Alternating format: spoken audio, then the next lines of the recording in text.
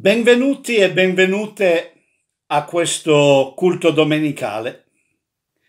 Vi invito a ritrovarci alla presenza del Signore.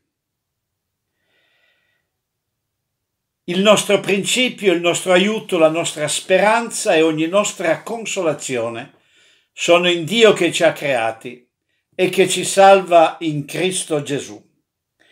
Dice il Salmo 33, Beata la nazione il cui Dio è il Signore. Beato il popolo che egli ha scelto per sua eredità. Ecco, l'occhio del Signore è su quelli che lo temono, su quelli che sperano nella sua benevolenza, per liberarli dalla morte e conservarli in vita in tempo di fame. Noi aspettiamo il Signore. Egli è il nostro aiuto e il nostro scudo. In Lui si rallegrerà certamente il nostro cuore, perché abbiamo confidato nel suo nome santo. Vi invito a pregare. Eccoci davanti a te, o oh Signore, per eh, rallegrarci delle tue promesse. In te è la pienezza della vita, in te è conforto e protezione in te possiamo crescere e fortificarci per portare con gioia il tuo annuncio a tutte le genti. A te, o oh Eterno, noi cantiamo la nostra lode.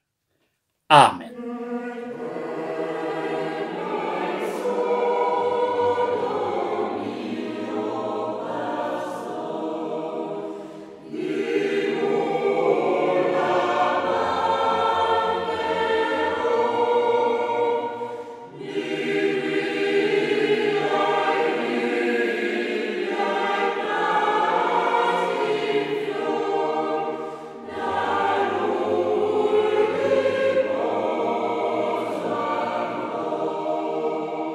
Il testo della nostra riflessione quest'oggi si trova nella lettera ai Romani, al capitolo 8, i versetti da 28 a 39.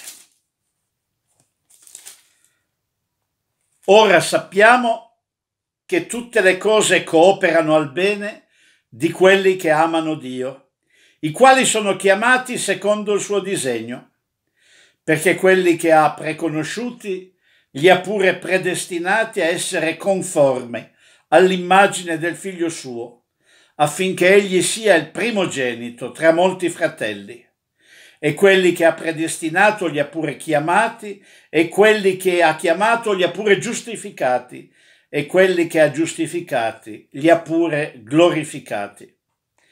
Che diremo dunque riguardo a queste cose? Se Dio è per noi, chi sarà contro di noi?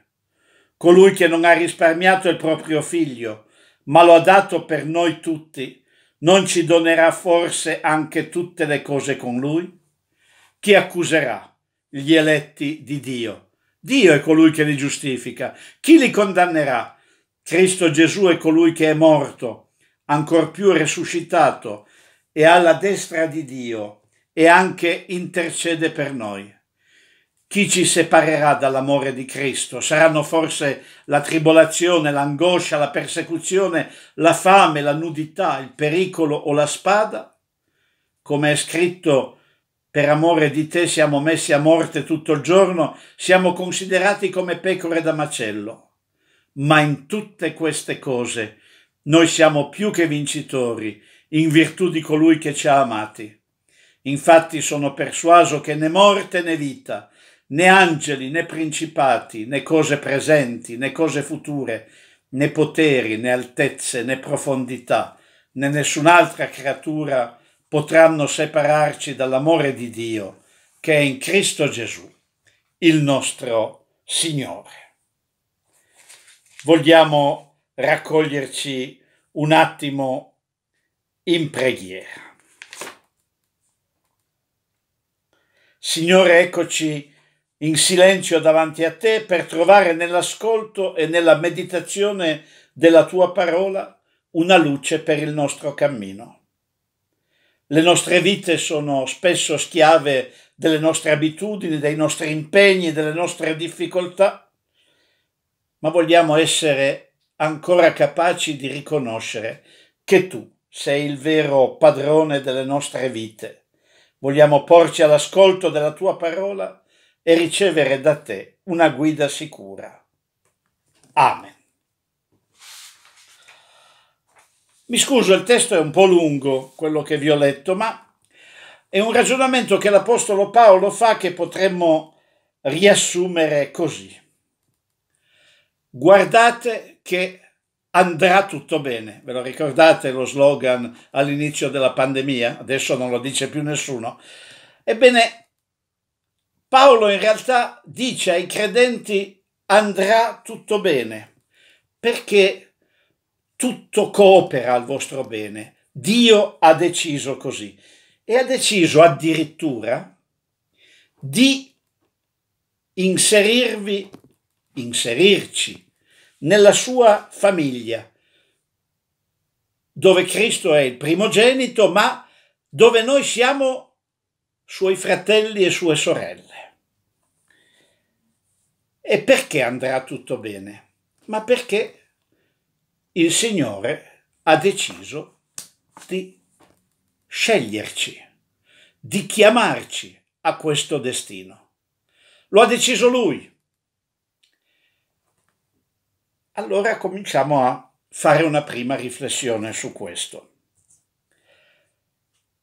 Se noi un giorno abbiamo detto un sì al Signore, perché sentivamo la fede con mille dubbi, perché quelli non mancano mai, ma sentivamo la fede agire in noi, noi dobbiamo ricordarci che questo sì lo abbiamo detto non di nostra decisione, ma in seguito a una domanda che il Signore ci ha rivolto, in seguito a una vocazione. Questo dovrebbe farci riflettere a sufficienza sul fatto che se noi siamo chiamati da Dio, dobbiamo essere contenti di questo fatto. Chiamati nella vita a servirlo, ma anche a parlare di Lui agli altri, alle altre che incontriamo nella nostra esistenza. Bellissimo discorso. Andrà tutto bene. E già, ma qualcuno deve aver detto a Paolo quello che di, diciamo tutti noi. Sì, caro Paolo, però ci sono le malattie, le sofferenze, la morte, i problemi, le difficoltà, le angosce. Come fai a dire che andrà tutto bene? Andrà tutto bene, risponde Paolo, perché noi non siamo destinati solo a questa vita. C'è una vita più grande che va oltre questa esistenza che noi chiamiamo resurrezione, perché questo è quello che Gesù ha vissuto. Non sappiamo esattamente come sarà, ma andrà tutto bene perché noi non siamo più limitati dalla morte. Però le difficoltà rimangono. Essere cristiani non vuol dire essere risparmiati dalle difficoltà. E guardate che Paolo qui ne fa un elenco di quelli pesanti, eh? Tribolazione, angoscia, persecuzione, fame, nudità, pericolo, spada, cioè tutte le possibili difficoltà che noi possiamo incontrare nella vita e che all'epoca di Paolo erano molto più reali delle nostre difficoltà, perché grossi pericoli, la spada, la fame e la nudità, ne sentiamo parlare, riguardano spesso altri purtroppo, ma non noi. Eppure Paolo ha il coraggio di dire, bene, neanche questo ci può separare dall'amore di Dio, neanche questo può impedirci di dire che andrà tutto bene. Ma ci sono molte cose, e questo è il terzo ragionamento che vorrei fare con voi, ci sono molte cose che fanno di tutto per strapparci questa fede. Ci sono i problemi della vita, ci sono le persone che ci dicono lascia perdere cosa vuoi credere, roba superata, ci sono le grandi difficoltà. E qui l'Apostolo osa l'inosabile, lo può osare solo lui.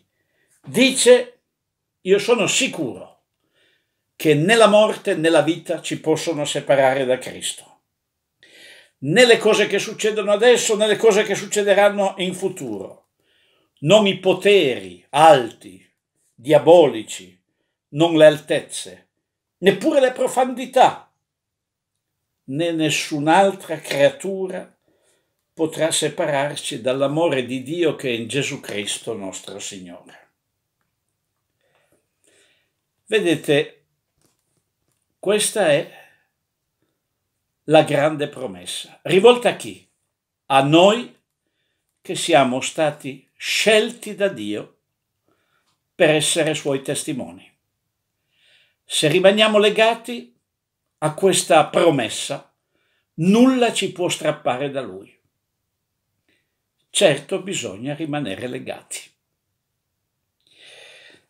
Mentre vi parlo, fra le tante cose che succedono nel nostro paese, Adesso c'è lo scandalo di quei eh, politici, non solo deputati, ma vari, anche consiglieri regionali, che poverini, guadagnando solo 20.000 euro al mese, avevano chiesto anche loro il bonus di 600 euro per le partite IVA che non lavoravano.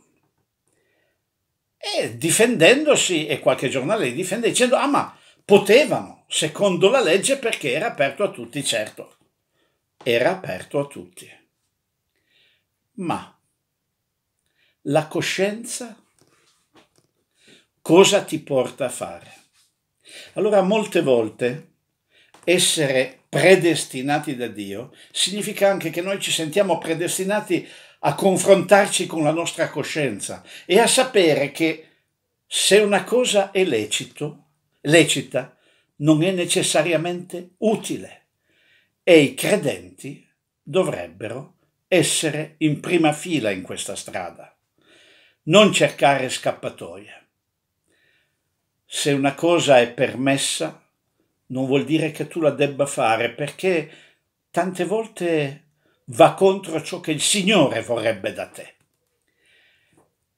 Noi chiamati da Dio ad essere parte della sua, della sua famiglia, abbiamo questo carico in più, quello di esaminare con la nostra coscienza se è giusto fare tutto quello che la legge umana permette. E no, abbiamo un carico in più, meno male. A noi è stata data una grande promessa, la promessa di essere eternamente col Signore, di, che nulla ci potrà strappare da Lui. E allora in questa vita dobbiamo cercare di correre secondo le regole che il Signore ci ha dato, che non sono contrarie alle leggi del buon senso umano, ma alle volte vanno al di là. Ci dicono devi fare quanto è in tuo potere per essere degno della vocazione che ti è stata rivolta. Un esempio banale, banalissimo, noi nel, nei proverbi italiani diciamo spesso non fare agli altri quello che non vorresti fosse fatto a te. E qualcuno dice, ah ma l'ha detto Gesù. No, no, no. Gesù ha detto il contrario. Ha detto fai agli altri quello che vorresti che gli altri facessero a te. Cioè, inizia tu a essere un chiamato dal Signore predestinato alla sua salvezza. Amen.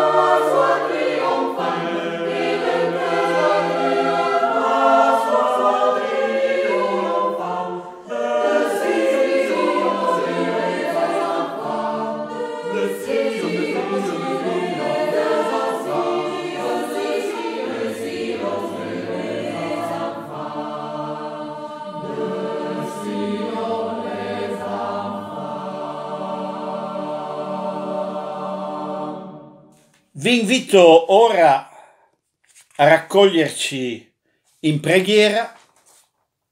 Lo facciamo innanzitutto con una preghiera di intercessione, cioè un momento di preghiera per gli altri, per quelli che sappiamo avere bisogno della, dell'intervento di Dio nella loro esistenza.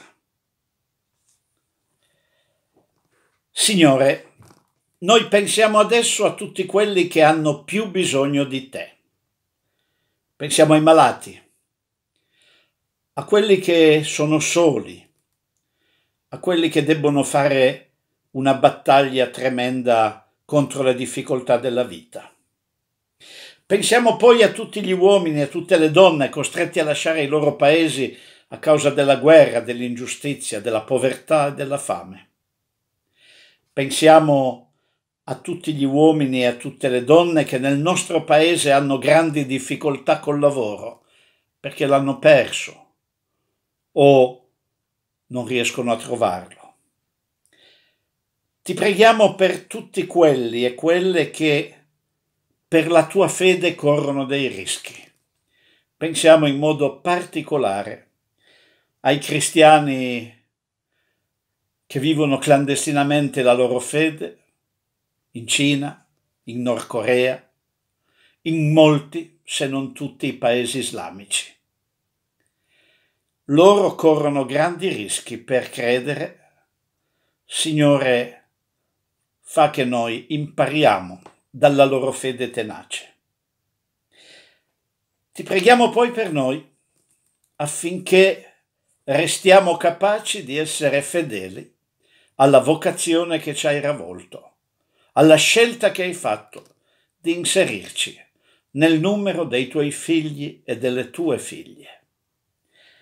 Ti chiediamo tutte queste cose nel nome di Gesù che ci ha insegnato a dirti, Padre nostro che sei nei cieli, sia santificato il tuo nome, venga il tuo regno, la tua volontà sia fatta in terra come è fatta nei cieli. Dacci oggi il nostro pane quotidiano e rimetti a noi i nostri debiti come anche noi li rimettiamo ai nostri debitori. E non ci esporre alla tentazione, ma liberaci dal male poiché a te appartengono il regno, la potenza e la gloria, nei secoli dei secoli. Amen.